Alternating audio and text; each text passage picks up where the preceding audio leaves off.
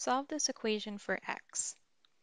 So we will take the log, natural log of both sides.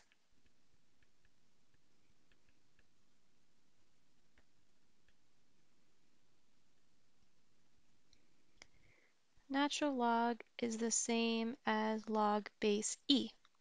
So when we take the natural log of e to the 7 minus 4x, using the rules of logs, we would take the exponent here and bring it out to the front.